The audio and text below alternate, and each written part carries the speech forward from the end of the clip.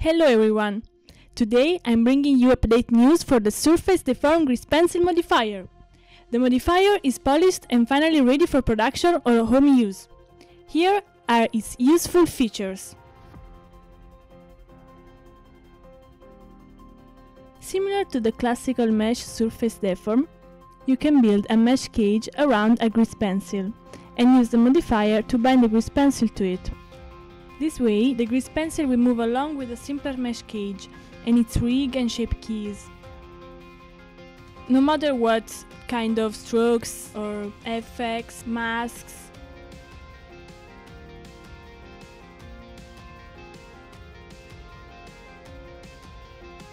This is one of the most awaited features of Blender. After the success of animated movies such as Into the Spider-Verse and Puss in Boots 2, layering 2D features on a 3D model seems to be the direction the industry is going.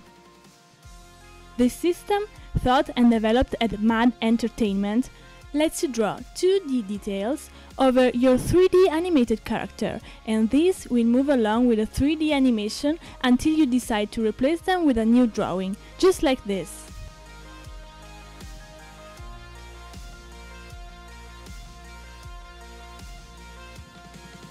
I leave a link to the tutorial in the description.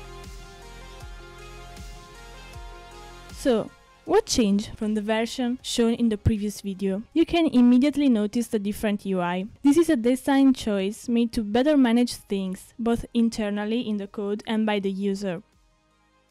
You can choose whether to bind the current frame or all frames, and all the layers will be bound at the same time. This can be more manageable because the usage case of binding just one layer is, is not very common.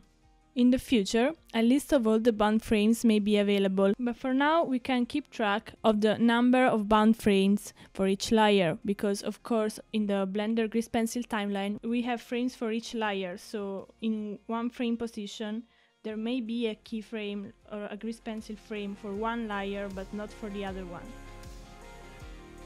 So this was a quick showcase of the new Surface Deform Grease Pencil modifier and its updates.